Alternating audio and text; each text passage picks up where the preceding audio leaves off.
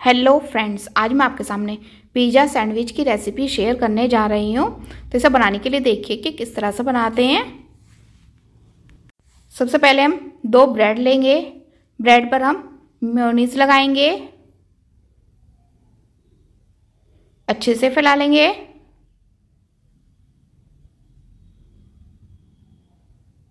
दूसरे ब्रेड पर भी म्योनीस लगा लेंगे। और चारों तरफ़ अच्छे से फैला लेंगे।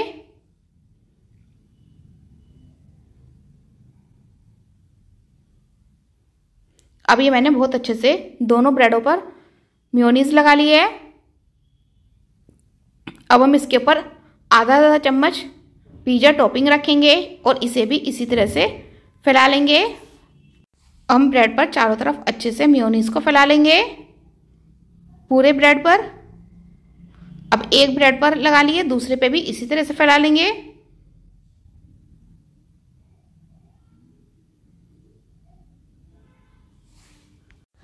अब हम इस ब्रेड पर मोजरेला चीज़ डालेंगे, कद्दूकस करके। ये मेरे पास डाइस चीज़ है। इसको अच्छे से ब्रेड पर फैला लेंगे। उसके बाद हम इस पर वेजिटेबल रखेंगे।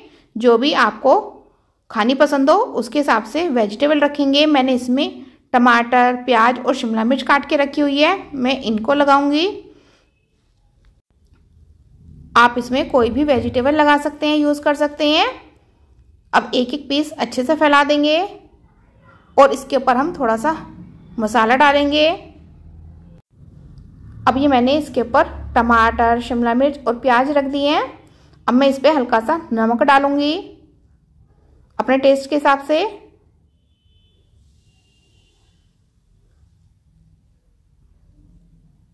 चिली फ्लेक्स, ये भी डाल देंगे। अब हम ऊपर से फिर से एक बार चीज़ की लेयर लगाएँगे।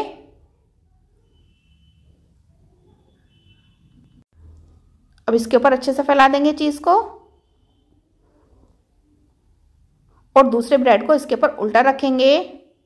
इसी तरह से हमें सभी ब्रेड तैयार करने हैं। अब हम तवा लेंगे, तवे पे थोड़ी सी चिकनाई लगाएँगे। और इसके ऊपर सैंडविच को रख देंगे।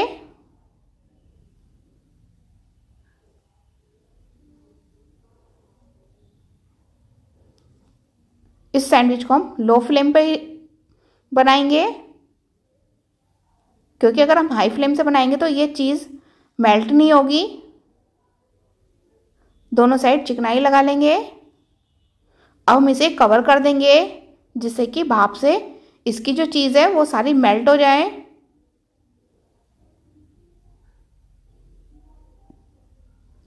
अब हम इसे एक बार पलट देंगे और फिर से कवर कर देंगे। फिर से कवर कर देंगे और लो मीडियम फ्लेम पर ही इसे हमें क्रिस्पी होने तक सेकना है। एक दो बार इसी तरह से अलट पलट करते हुए ढक के सेकेंगे। अब इसकी चीज़ मेल्ट होने लगी है। एक बार फिर से पलट देंगे। और फिर से मैं इसे कवर कर दूँगी। अब ये मैंने फिर से कवर कर दिया है।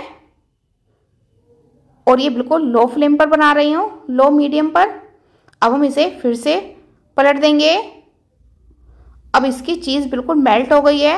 अब हम इसे कवर नहीं करेंगे, सिर्फ़ ऐसे ही बिल्कुल क्रस्पी कर लेंगे। इसी तरह से हमें सभी सैंडविच बनाने हैं। अब ये सैंडविच हमारा बहुत अच्छे से सीख गया है और क्रिस्पी भी हो गया है, इसे हम बाहर निकाल लेंगे, कट करेंगे। अब मैं इसे सॉस के साथ सर्व करूँगी।